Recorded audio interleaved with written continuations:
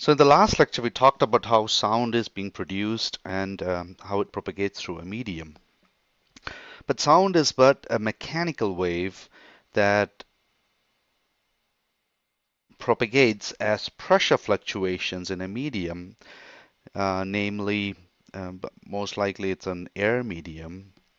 And if some conditions are met, um, we, um, uh, namely if it falls within the operating limits of our auditory system, we hear that as an auditory experience or an auditory sensation. But basically there are two types of waves, uh, a transverse wave and a longitudinal wave.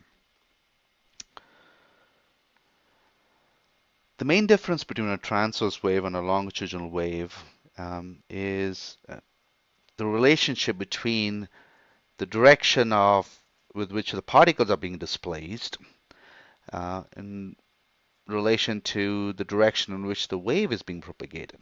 So in this instance, the particles of the medium are dis being displaced up and down while the wave is actually propagating from left to right. We can create a simple transverse wave by um, using a, a, skipping rope or, uh, or, a string. And of course, um,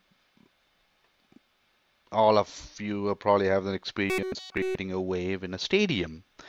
Um, probably when there was a touchdown, um, touchdown since it's football season now. So when you're creating a wave, essentially uh, people in a row um, stand up and down um, sequentially um, and you create a wave along the row. One point uh, that's important is each person uh, just is being displaced uh, in his own plane. So he just stands up and down um, and um, the adjacent person does the same and so on and creating this wave.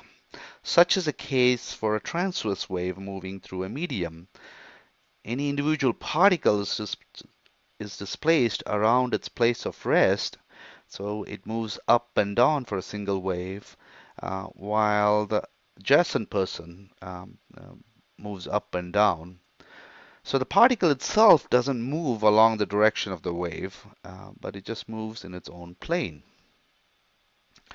And that is the case for a sound wave also. So um, if you were in a classroom and if I was speaking, um, I'm creating pressure fluctuations in, of the air particles right in front of my uh, lips. In turn, those particles displace the particles in front of them and so on till it, that pressure fluctuation, that, um, that force uh, that's being displaced reaches those particles close to your ears, um, stimulating your eardrum and then resulting in an auditory sensation. In a longitudinal wave, the particles are displaced in the same direction with as the wave direction. So that would be an example of, a wave created in a slinky.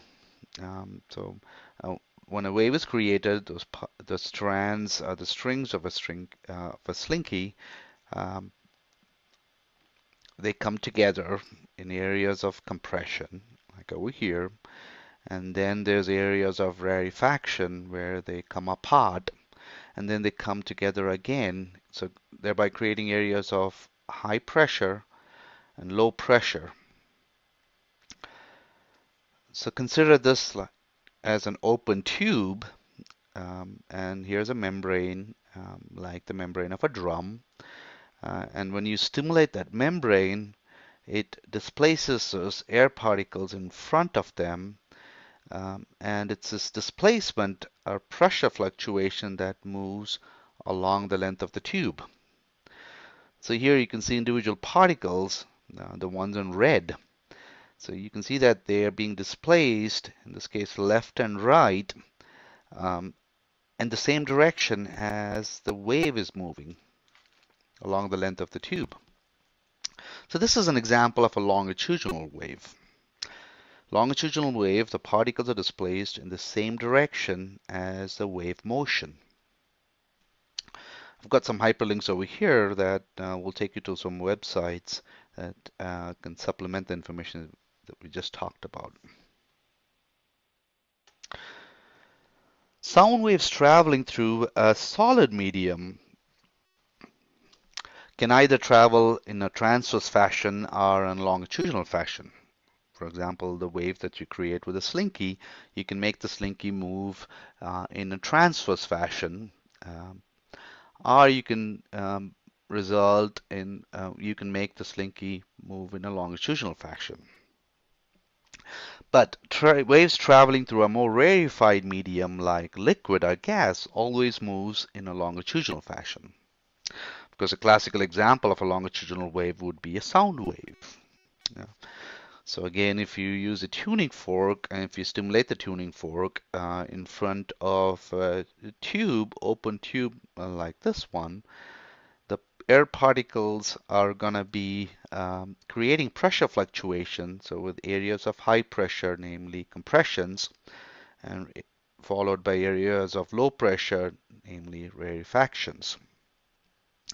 And it's these compressions and rarefactions that are um, that moving along the length of the tube um, as the wave propagates. So here is an animation of a string being displaced.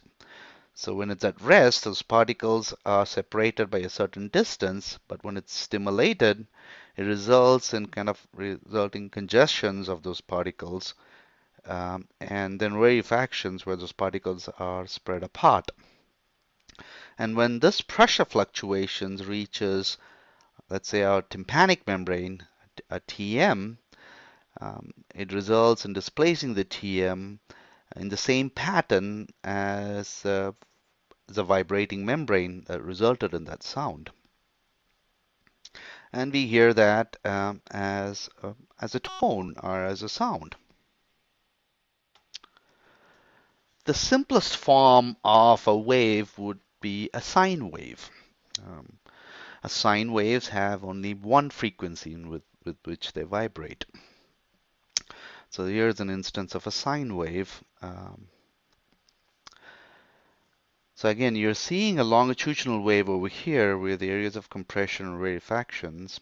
And as you can see, it's kind of difficult to represent a longitudinal wave as it is.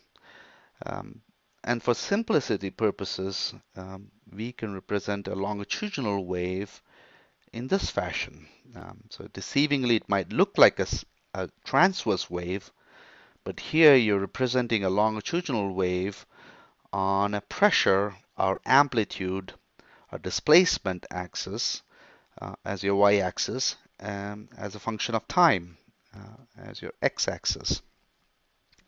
So areas of compression of high or areas of high pressure are shown as a positive side of the uh, of this wave, and then areas of rarefaction are shown as a negative uh, cycle of this wave.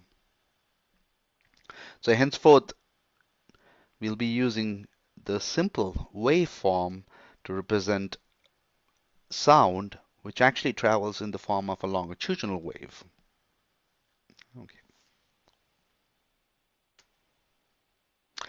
As I said, sine wave is the simplest form of uh, an oscillation uh, and the simplest form of a sound. For a single cycle of vibration or oscillation, uh, we begin at one point, resulting, um, and we'll have one area of, of high pressure or of positive deflection, and then one half cycle of a rarefaction or reduced pressure. A sine wave is is but uh, a simple mathematical function uh, and represents a smooth oscillation like the oscillation of weight uh, being displaced on a spring or the movement of a tuning fork. When a body oscillates sinusoidally, um, with only one frequency of vibration, we call that as a pure tone. Pure tones um, of different frequencies are used uh, in, in, on, in an audiological assessment. In fact, pure tone audiometry uh, remains the golden standard in audiological assessment. What we do in pure tone audiometry um, is we sample uh, a person's hearing at um, discrete frequencies. So namely the frequencies can be 250 hertz, 500 hertz, 1000 hertz, 2000 hertz, uh, 4000 hertz and 8000 hertz. The idea is to again sample different parts of discrete parts of the auditory system. And we know from um, probably from last semester uh, that one of the main principles of the auditory system is this concept known as tonotopicity. Tonotopicity refers to the frequency representation um, and pretty much all the principal structures in the auditory system. For instance, in the cochlea, in, within the inner ear, frequency is, is represented such that um, the higher frequencies uh, stimulate the basal end um, of the cochlea, while the lower frequencies stimulate the apical end at the top of the cochlea. And frequencies that fall between those ranges um, sequentially or systematically stimulate uh, the length of the basilar membrane. So in pure tone audiometry, when we're testing low frequencies, mid frequencies, and high frequencies, we are sampling uh, the apical, the middle part of the cochlea, and the basal part of the cochlea. And we're going to be having exercises in pure tone audiometry, um, both online and um, with the software that uh, we'll be working on. So in pure tones, um, we have only one frequency of vibration. Uh, so this frequency um, is, repeats itself as a constant number of cycles uh, per second. Um, some sounds around us um, might sound like pure tones. Um, examples would be like a whistle, or the sound made by a tuning fork are uh, the sound made when you're moving your finger, a wet finger, over the rim of a glass. Pure tones are heard as clear signals by the auditory system um, because they're, well, they're simple and they have only one frequency of vibration. So here is an illustration of a tuning fork resulting in pressure fluctuations as concentric circles around the tuning fork. So when the tuning fork throngs are displaced when it's stimulated, it results in areas of high pressure and low pressure and so on. Uh, and the cycle repeats itself in a constant fashion uh, because it moves in only one frequency.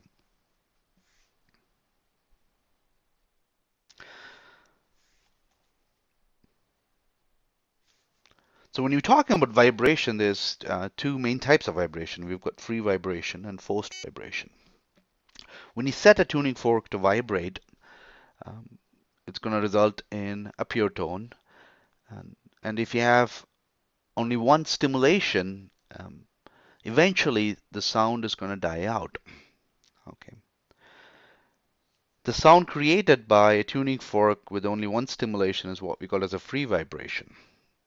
However, the total time in which the sound is sustained depends upon the amount of damping in the medium. Over time, the sound is going to um, die out. And that's because of the friction caused by those air particles in the medium that results in removing energy in the form of thermal energy or heat and eventually uh, the sound uh, flattens out or dies out. In a forced vibration, as long as if you provide an external force, uh, you'll be able to sustain that vibration. But now the external force might affect the way in which this particle oscillates or vibrates, and that's something that we're going to be talking about in a bit. Damping refers to um, how much energy is being lost uh, because of friction. Different mediums have different amounts of damping. Um, particles that are more dense, like solids, have more damping uh, than, say, liquids or air. Um, and you probably might have seen dampers all around you, um, like dampers um, used in automobiles, um, where if you go over a speed bump, um, your your car um, doesn't bob up and down perpetually or forever. Well, although some people might like that. Um,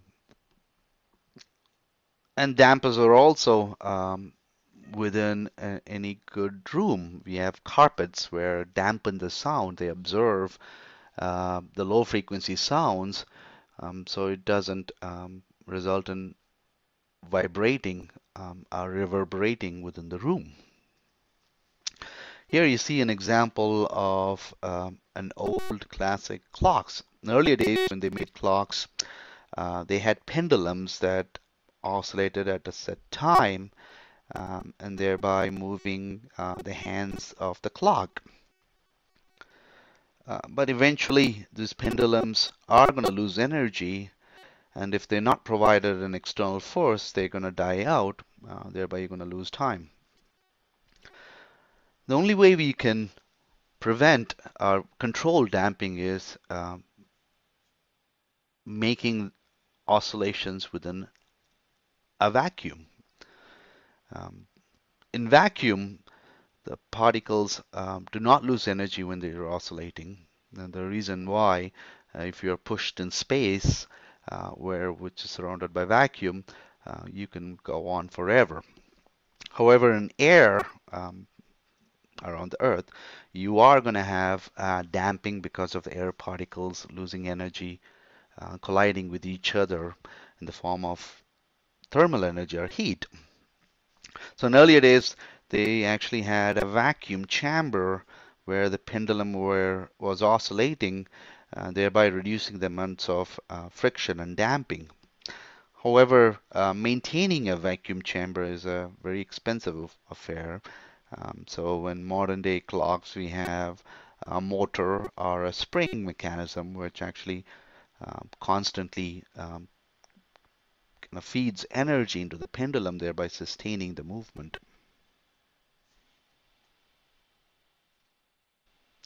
So waves differ uh, by a number of different aspects. Namely, they can differ by the amplitude in which the particles are being displaced. Um, and typically, amplitude is represented in the y-axis um, of a waveform. They can differ in terms of the time taken um, for each cycle or the number of times um, a cycle repeats itself within a certain time frame, namely frequency, or they can differ, uh, differ in terms of phase. Um, and we'll be talking a little bit of in more detail about each of those aspects. Frequency refers to how often an, an event repeats itself within a certain uh, time. So when you're calculating the frequency of an event, you're pretty much calculating uh, the number of times that event happens within a fixed time frame. So if, let's say if, uh, if the bus shuttle at ETSU stops for um, three times every hour, so that would be considered the frequency um, of the, the of the shuttle. Now in sound, we're talking about occurrences that happen very frequently. So the time scale we use uh, is quite small. Um, and um, so we use seconds. So the number of times a cycle repeats itself within a second would be the frequency of that sound. And the unit we use for cycles per second is hertz.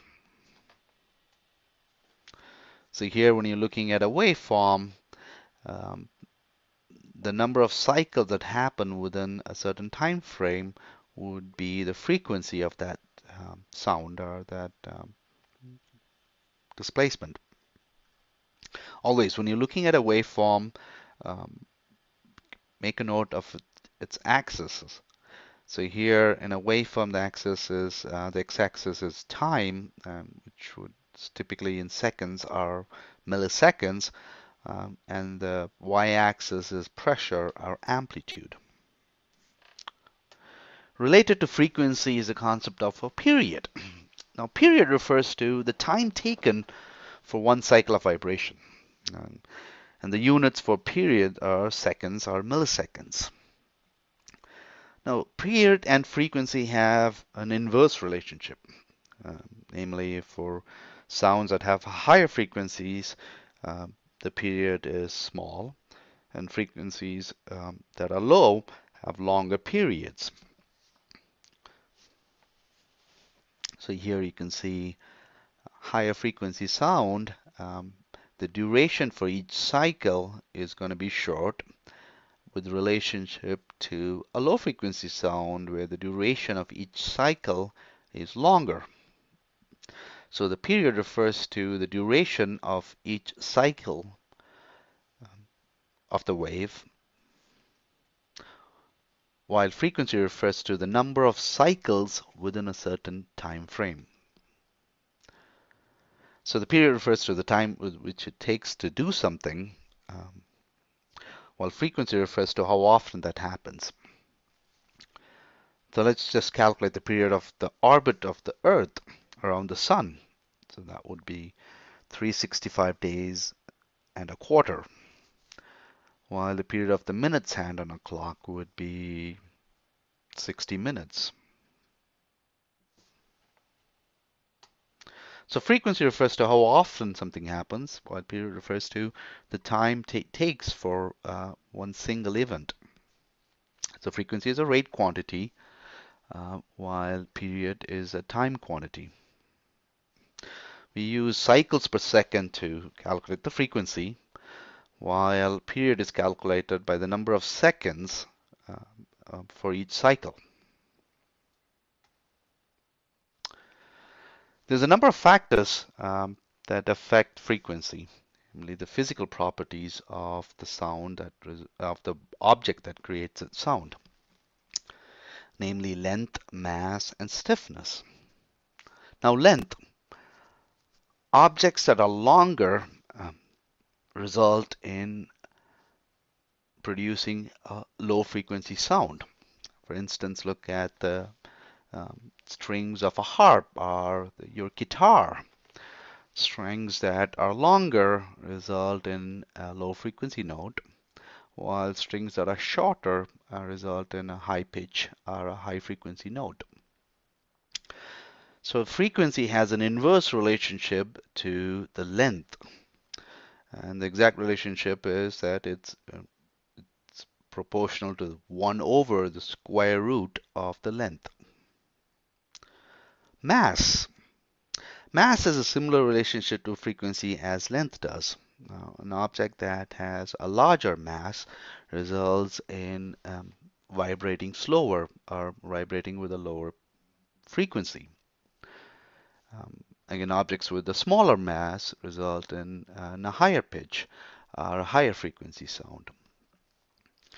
And again, an an example of that would be the mass of the strings of a guitar. You'll notice that some strings of the guitar have, are more thicker, uh, they have a, low, a higher mass, while some strings are more thinner, they have lower mass. The strings that have a higher mass result in um, a lower note, so they vibrate at a lower frequency, while strings that have a smaller mass vibrate at a higher frequency, resulting in a higher note. The third physical property that affects frequency is stiffness. Now, stiffness has a direct relationship to frequency. In other words, objects that are stiffer or have an increased stiffness result in vibrating at a higher frequency, resulting in a higher note, while objects that have a lower stiffness um, result in vibrating at a, a lower frequency. Again, you can take the example of the strings of the guitar. Now you can make the strings of the guitar more taut or stiffer. And you notice that more stiffer the string becomes, higher the frequency or the higher the tone or the higher the pitch it makes. So frequency has a direct relationship to the square root of stiffness. Okay, here are some links that will take you to animations um, where you can actually interactively change the stiffness and you can note how um, the frequency in which it vibrates and uh, the, tone it creates. Here's a link that talks about how stiffness um, is actually um, actually results in the frequency representation along the basilar membrane within the cochlea.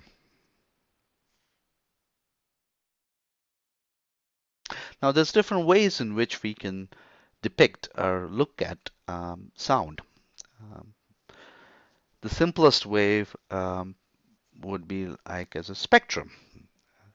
In a spectrum, um, we look at the frequency composition of sounds, especially, and it's it's a good tool to look at sounds that are more complex in nature, where they have a number of frequencies of different amplitudes. So far, we've looked at sound in the form of waveforms, and this is what we call as as as a representation within the time domain. Okay, so this is a waveform where we're so showing a simple sine wave as a function of amplitude or intensity or pressure on your y-axis um, over time. And it's a good way of looking at simple sounds uh, that have only one or just a few frequencies. The spectrum is a better way of looking at uh, sounds that are more complex in nature, that have a number of frequencies. So in a spectrum, you're looking at frequency on your x-axis and the intensity on your y-axis. And this is an example of a complex periodic sound, um, the spectrum of a complex periodic sound. So here you're seeing it has a number of frequencies and there's a certain relationship um, of the amplitude of those different frequencies. Now what we lose when we're looking at a spectrum is uh, the time relationship. So we're looking at frequency and versus amplitude in a spectrum, but it doesn't show uh, the, the time, uh, which might be an important uh, feature to look at for uh, a time varying signal like speech, which is also a complex signal. A good way of looking at speech sounds would be in the form of spectrograms. In spectrograms, you're looking at um, frequency in your y-axis as a function of time in your x-axis. Spectrograms also represent amplitude. They're shown by the darkness of the trace. So here um, you're seeing a spectrum of a sentence. Um, so you're seeing that um, it, it's a complex signal uh, with a number of frequencies. Uh, represented over here. But some of uh, some portions of the spectrum are darker. Uh, that means that there's higher amplitude, um, while some areas are uh, uh, lighter, and that would mean that these frequencies have a lower amplitude. And again, you're seeing this relationship as a function of time.